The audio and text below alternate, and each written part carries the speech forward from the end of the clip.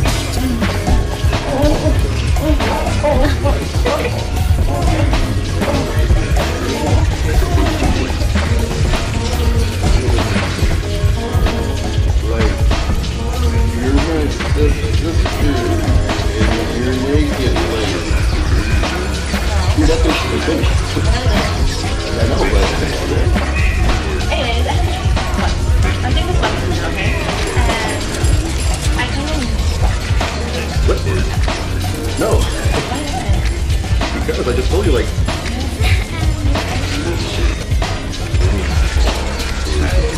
You're making money of